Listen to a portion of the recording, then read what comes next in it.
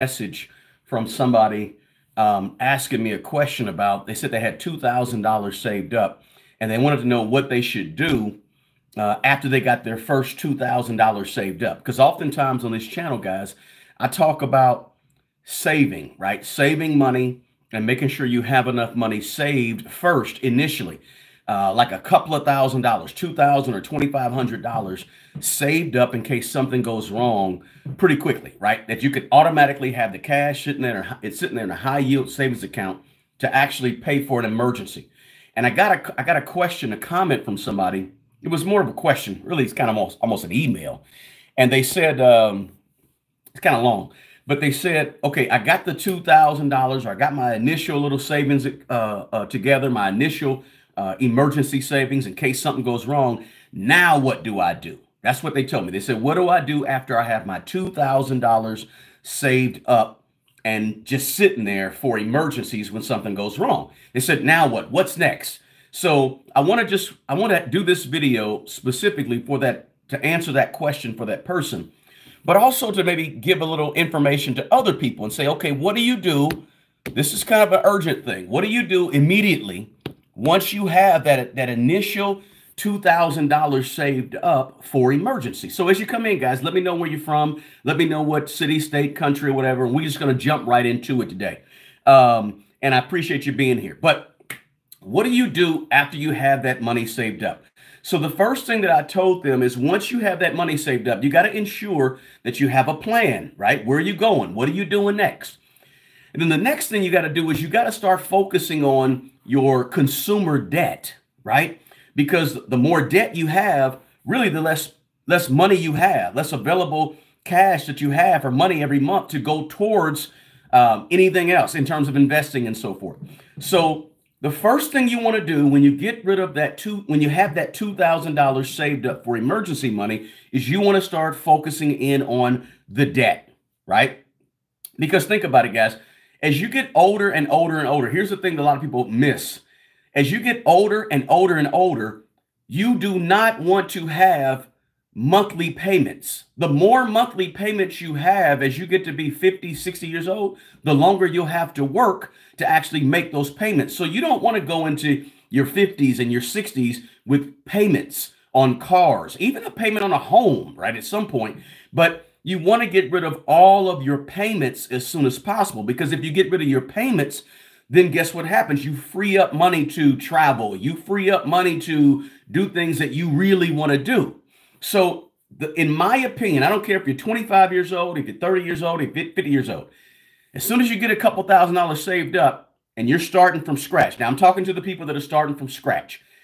As soon as you get that, you got to start focusing on your debt. Let me see what we got in the chat. Thanks for checking in here, guys. Like a few of you checking in. Hey, give me a thumbs up. Make sure you can hear me, guys. I need to make sure my audio's good. Watching from Dallas, Rhonda, good to have you. Seattle's in the house. North Carolina's in the house. Tracy from North New York City. Uh, Chicago to Windy City. Gigi is here. Hello from Chicago. Also, Miss Miss Q, beautiful. Ontario, Canada's in the house. Uh, home, Shreveport. Let's see. Uh, Larry G's in Houston, Texas. Good to have you. England, good to have you. Nebraska's in the house. How you doing? Columbia, South Carolina. Uh, let's see here. Boom. South Africa's in the house. Tacoma, Washington's in the house. Miss B from Seattle, Washington. Good to have you. North Kakalaki again. Philly. We got them from all over, guys, all over the country and even the world. Mississippi's in the house. Is that Batesville? Is that Panola County? Is that uh, Kosciusko? Where is that at in Mississippi? Mount Vernon, Indiana. So listen, let's let's keep going. So, and I'm I don't want to make this a live, a long live, right? But I, I want to make it sort of specific and to the point. So first things first. The less the, the one thing you don't want to have is you don't want to have payments. So focus on debt. How do you focus on debt? I like the debt snowball method, right? You list all your debts from smallest to largest, and then you take a certain portion of your money. I don't care if it's 50 bucks, 250, $500 every month. Whatever you have left over at the end of the month, you take that money and you put it towards the debt, right? The first one on the list. And then you put you pay your normal payments on all of your your payments and you take that extra cushion of money and you put it towards the first one. So if your if your lowest debt is you owe a thousand dollars on a credit card, you pay 50 bucks a month for it. You take your residual income, your 300 bucks you have left over every single month and you put that with your 50 bucks and you pay 350 a month on your credit card until it's paid off. Then you take that 350 and you pay the normal payment of the next one and you pay that off. It's the debt snowball. I like that. Use that, right? And you know, the other thing to think about is the fact that when you pay off debt, now you have extra money that you can use to survive, to have fun with, to play golf, to do what you want to do. But you got to hit the debt. When you hit the debt, it makes life easier. And it takes a big burden off your back if you can go ahead and get rid of the debt. So, in my opinion, the first thing you got to do when you have $2,000 in save in savings put away is you have to hit the debt. If, is anybody in the chat debt free? Let me know if you're debt free in the chat below. When I say debt free, I don't mean your home. I mean just consumer debt, right? You have no other debt except your home or, or your home's paid off. Let me know in the chat below, guys, if we got some people like that. Let's see here. Let's see here. Boom. Okay. Let me go ahead and get that person out of here. All right, cool. We always, when we go verticals, we always have some idiots to jump up in the chat, and I like to get rid of them. No big deal. They don't bother me. They don't bother me. If they don't bother you, it's cool. All right, I'll just get rid of them. Listen. So if you have no debt, let me know. Right? Let's see. Debt free. Rhonda Payne. Congratulations to you, Rhonda. Maybe Grayman and Hector is debt free as well. Excellent. Okay, fantastic. Uh, let's see here. No debt, good. Bundled debt, ten thousand three hundred or one hundred three thousand dollars. Let's see. I always pay more than the minimum debt free coming from Atlanta. Excellent, congratulations. So we got some debt free people in here. It's a burden off your back, right? You have your little emergency fund, a couple of thousand dollars set aside. Now let me tell you, all the while, don't stop getting the match from your job. If you have a job that offers a 401k match, 403b match, get the match, right? But at the same time, if you have a job that doesn't have a match, then I suggest that you still put three to five percent of your money towards some type of retirement plan or towards some type of investing, uh, a Roth, whatever it may be. But you want to make sure you're still doing a little bit of investing, even when you're trying to get out of debt. That's my opinion. I know it's not the opinion of some people, but it's my opinion. It's how I work my system. So, a couple of thousand dollars Smash the debt as soon as you can, guys. Don't let the debt stay alone. I I um, I had a, a video on here about I don't know five or six months ago talking about how I was in student loan debt for 31 years. Literally, 1992 to 2003, I was in student loan debt. Even though I was building wealth, I, well, I kept that debt. I shouldn't have done it, right? I, I admit it. That was a mistake, right? I should have paid it off sooner, but I kept it around way too long. As soon as I got rid of it, weight off my back. Weight off my back. And some of the people in the, in the chat could probably attest to that as well. So that's the first thing. And again, I'm telling you, I'm giving you sort of a blueprint for building wealth, a blueprint for what to do and answering a question. If you guys weren't here in the beginning, answering a question for a comment that came on one of my one of my uh, um, one of my uh, videos. It was sort of it was real long comment, but it was basically, hey, I got two thousand dollars done. Now what do I do? right? What do I? I got a couple thousand dollars for the emergency. I'm not sure where to go, where to start, right? I'm starting from scratch. And I said, get that 2000 and then start hashing along at your debt. Now, the second thing I told them was not just your debt, but you need to go ahead and increase your rate of savings once you get that debt paid off, right? So it's this is the order of importance. $2,000 pay off debt. All the while, three to five percent or getting the match at your job, invest it, right? And then once you get rid of the debt, now you freed up more money to go invest more money. Of course, you want to go ahead and build out your savings account, of course, but then you want to start investing more money. See, you have to increase the rate of your savings and increase the rate rate of your investments. You have to be aware and I would say cognizant of the percentage of your money that you're investing in the stock market, guys. So, in my opinion, once you pay off debt, once you uh, have your emergency fund, you pay off debt, and then you build out your emergency fund, in my opinion, you need to make sure you're putting 10 to 15% of your money in the stock market. The more, the better, right? The if you can do 20%, that's even better. This is kind of the blueprint. So I'm giving you these steps. If you're if you're 25 years old and you're watching this and on a replay and you want to retire when you're 55 years old in 30 years, then you should be investing about 10% of your money or more in the in the in the stock market for the next 30 years. Now, if you're 40 years old or more, you may want to up that to 12 or 13 or 15%, right? But the younger you are, the more time is on your side, and time is of essence when we're talking about investing money, right? Time is the key. The more time you have, the less time you have to invest. I'm sorry, the more time you have, the better. The less time you have, the less time you have to invest. So you want to increase that investment amount, right? So the number one thing you got to do is you need to make sure you get rid of the debt. And then secondly, you need to make sure you build out your emergency fund. And then third, you want to make sure you're investing more money. Stretch yourself, right?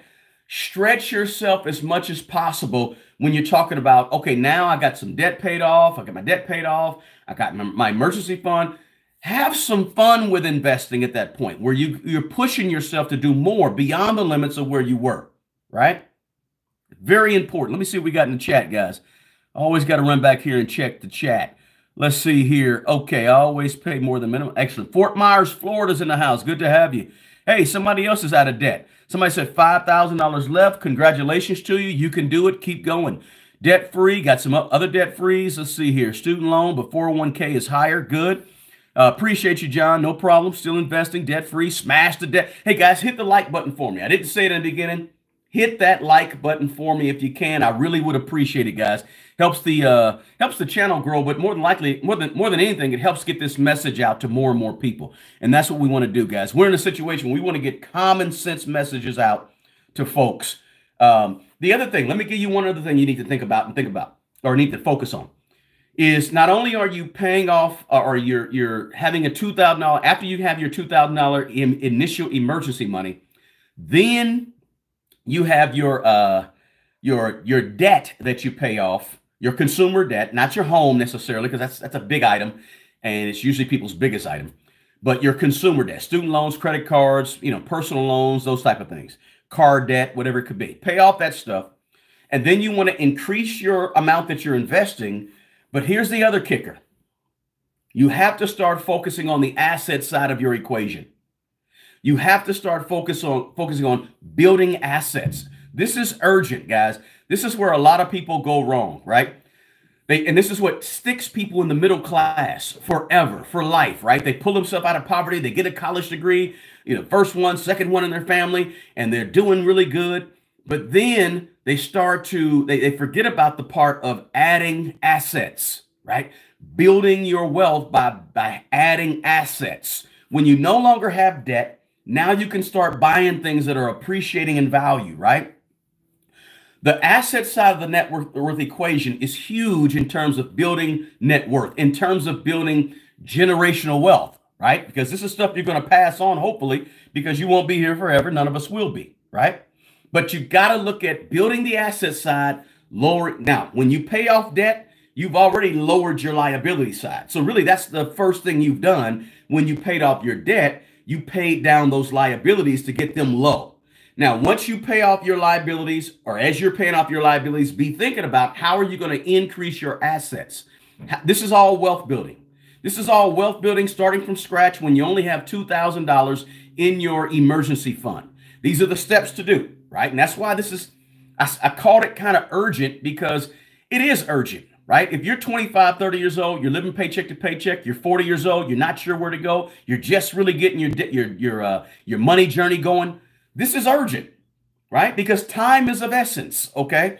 So you need to eh, ultimately, once you do all the things we talked about, now let's focus on assets. I got to build up my assets. I can't be fooling. Now, listen, let me say this very important. When you pay off debt, you have to get to a point where you're committed to not going back in debt. Okay. Don't go back. Right. You're going to get to a point where, you know, you're going to say, man, maybe I should, maybe I should finance that washer and dryer set at 0% finance. Eh, you know, I, am doing pretty well now. Got out of all my debt. Maybe I should go ahead and, and get me a car payment. Listen, don't do it. I'm just, this is my opinion. You don't have to take my opinion. You can throw out everything I'm telling you. But in my opinion, don't go back into debt once you get out of debt. A lot of people do it. Don't do it. Resist the temptation, resist the urge, build up your emergency fund as we talked about so you never have to worry about, you know, keeping a credit card around for emergency purposes, right? Because you have emergency money and don't you got to you got to really commit to yourself because it's really easy to say, "You know what? I got out of all that debt, man. It's it's pretty simple. I can handle $500 a month for a car payment." Resist the temptation, right?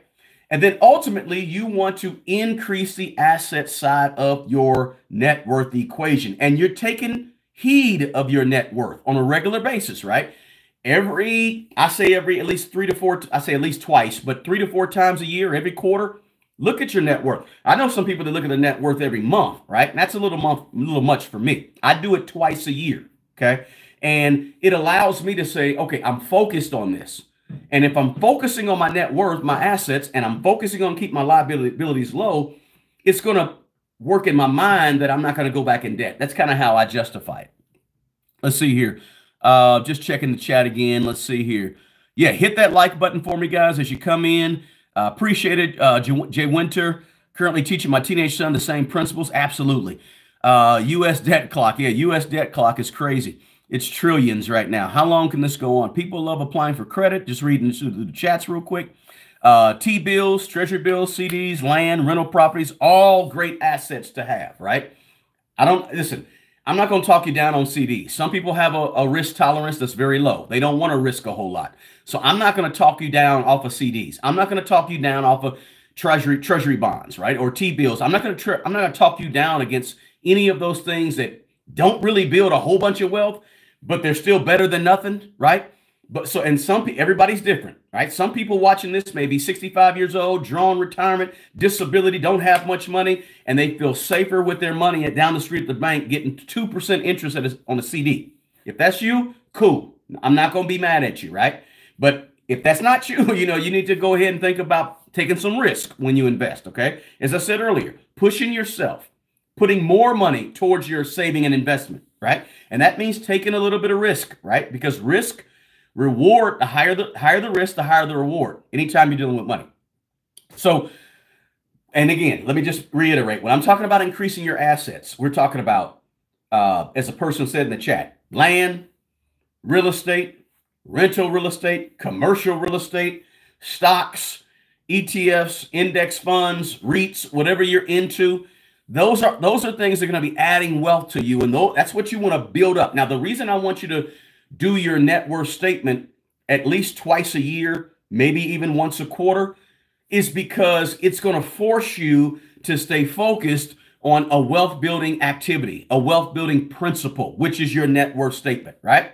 And the more of assets that you have, the more options you ultimately have. See, I want to I'm trying to prepare people not just to be rich today, but I'm, i want to prepare you to be wealthy when you're 50, 60, 70, 80 years old. And you don't have to rely on other people taking care of you. Not your grandkids, not your kids, not the nursing home, not, right? You, if, if you're in good health and able to, to, to be healthy, right? I want you to take care of yourself with your own money, right? And speaking of health, that's a big piece too. Make sure you're taking care of your body, making sure you're out there walking, you're staying active, moving as much as possible. But again, you want to have options with your money. The best way to have options is to have assets. See, because when you have assets, guess what? I have I have a few rental houses. I can sell a rental house today. If I need $100,000 tomorrow, I can sell a rental house, right? If you have $500,000 in the stock market in index funds, guess what?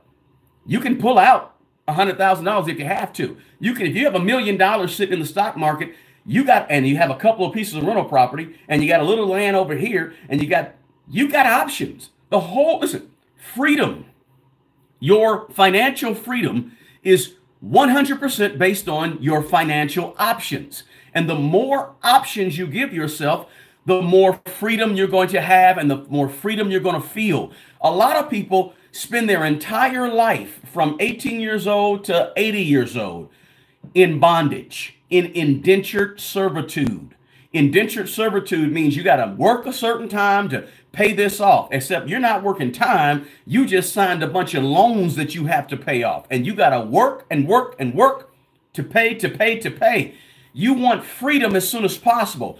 The quicker you can have free, listen, that's why when you have $2,000 set aside for savings and emergency, I want you everything I'm telling you is to work towards freedom. Remember, the first thing I said was pay off debt, right? And that's going to get your freedom right there. Second thing I said was what? Build out your emergency fund. That's freedom. When you have $20,000 sitting in the bank or sitting in a, in a, in a high yield savings account, that's freedom, right? When you have that money, now you say, now you're not trapped. Now, if you, if two of your tires go out on your car, you don't have to turn around and say, oh my goodness, I got to go, I have to go get a payday loan or I have to call somebody to borrow money. You're trapped. Everything I'm talking about on this video is how to not be trapped, how to break free. And how you break free is following these steps I'm giving you after you have your initial $2,000 for your emergency fund, your emergency fund, because it's all about options. It's all about choices. It's all about freedom. It takes away the stress. It takes away the anxiety. It takes away the, the feeling of de depression, right? If you get rid of the stress that's associated with debt, the stress that's associated with not having enough money to pay for an emergency if something go down, something go wrong, right? That's stress right? So build up your assets. Your assets are going to create options. And in the end, it's all about your options, right? Let's see here. Somebody said, uh, boom, boom, boom, Mercy Fund and HYSA. Absolutely. Gold and silver. Some people like that. That's cool. Those are assets. I'm building my website now, self employment. Employment, that's an asset. Building a business, that's an asset. Good. Uh, let's see here. Northern Ireland. Northern Ireland. Good to have you here, D Green. Thank you so much, man. Glad to have you here. What are your views on that? Nope. Okay, so what we'll do is we'll take it. We'll kick that person out. Let's see here. Debt, debt snowball. I work to work to invest. Invest good. Use. Uh, want to be debt free. I understand that. Yeah, I'm hesitant about having people take care of me when I get old. Somebody said the Black Dave Ramsey. Okay. Rich Dad, Poor Dad. Good book. Not too bad. Not too bad at all. Appreciate that, uh, QE Suba. Listen, I'm just trying to help you guys get to where you want to go. And I'm really answering a question. If you just got here late, someone asked me a question What do I do after I have $2,000? After I have my initial emergency fund that I always tell people to do, which is $2,000 or 2,500, your choice. Um, what, what, what's next? And that's what I'm trying to explain. What's next? What's next is clawing out of this debt, is getting free giving yourself some choices in life, right? But and what choices will do is it will allow you to have some control. And what control does is control allows you to feel a sense of um, accomplishment in life, a sense of uh, uh, I can do it, a sense of belief, a sense of hope, etc. Right? So the number two, so just some things to think about. Let me see. Is there anything else? Let me just see, let me run through my, my little list of things I want to talk to you guys about. Uh, so yeah, get rid of debt. Um, build out your emergency fund so you don't have to be, be, be slipping on that. And then increase your investments, right, in the stock market, in assets, whatever they may be. And then, of course, as I said, increase your assets as well, right? That's what you got to do as soon as you have your $2,000 saved up. That's it, right? So the money thing doesn't have to be very complicated. The money thing doesn't have to be very um, hard to understand it's it's it's it's kind of like like you know losing weight, right? A lot of us in America, at least that I can speak to because I live in America, a lot of us we know what to do when it comes to losing weight, right? But you know, eat eat eat the right foods or better foods, walk more, move more, etc. Right? We know what to do. The hard part is just doing it. The hard part is having the discipline to do it, the consistency to go the, to go for it. See, building wealth is all about discipline and it's all about consistency. If you can do those, if you can have that in your spirit, you'll be fine. You'll get there. Discipline and consistency.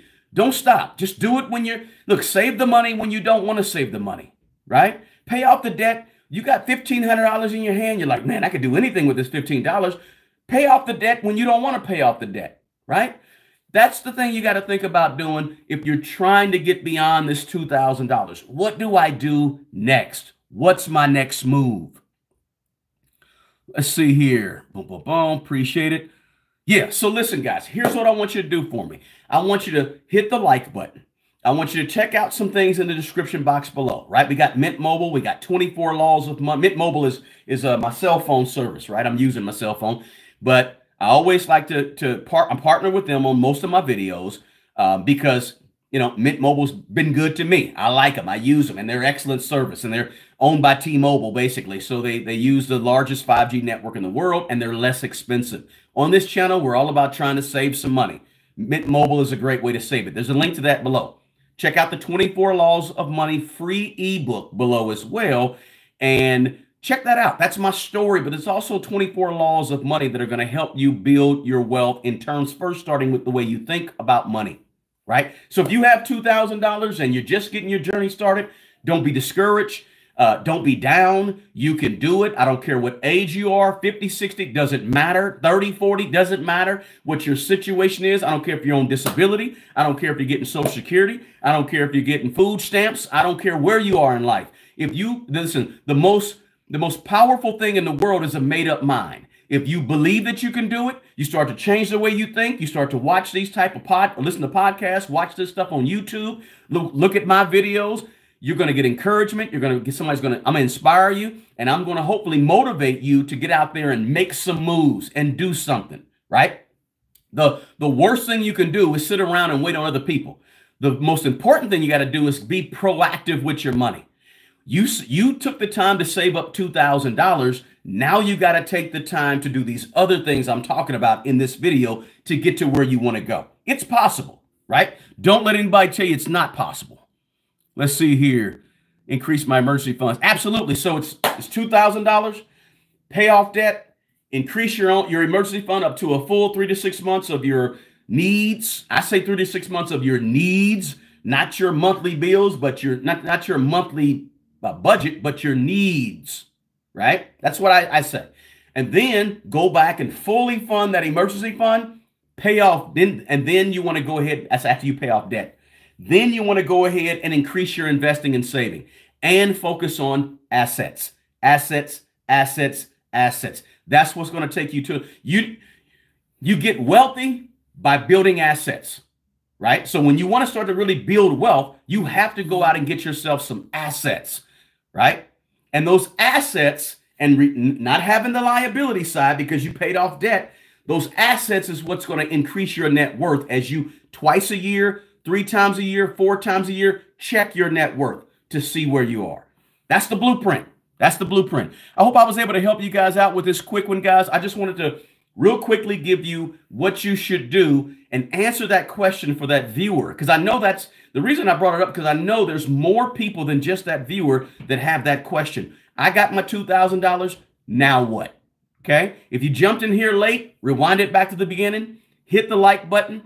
And also, if you're not a subscriber, please consider subscribing to my channel. I really would appreciate it. I hope you have a great day today, guys. And listen, thanks for checking in. Thanks for chiming in. Thanks for helping each other in the chat. And hey, I always say this the best person who's going to take care of the old you is the young you.